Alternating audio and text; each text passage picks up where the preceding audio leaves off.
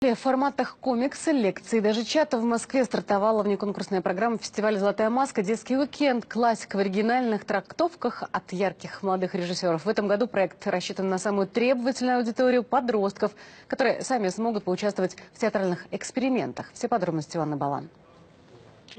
Пол покрытый мукой! Мука вырывается из окон!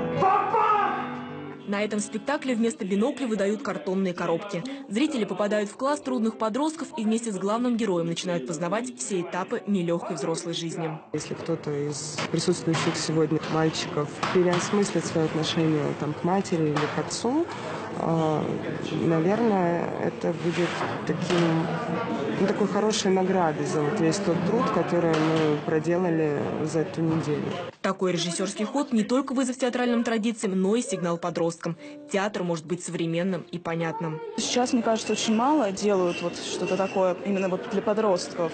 А вот такие как бы доступные, что-то, что отзывается у людей в душе, это нужно как бы смотреть, ходить. Повесть «Мучные младенцы» английской писательницы Энн Файн впервые на московской сцене. Как и остальные постановки специального проекта «Детский уикенд», который проводится в рамках внеконкурсной программы фестиваля «Золотая маска». Участвуют в нем молодые режиссеры и актеры разных театров.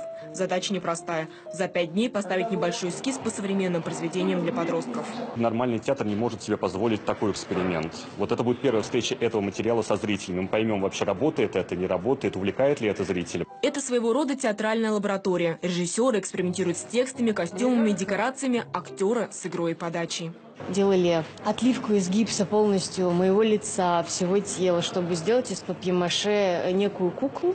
И для меня это действительно такой необычный актерский опыт. Но все же главный участник такого эксперимента – зритель-подросток. Его восприятие совершенно нового, непривычного для театра материала. Задумка хорошая, по книге написанная, очень смешно было, э, где зритель мог поучаствовать в спектакле. Это, наверное, первый спектакль, когда я одновременно мог и смеяться, и плакать.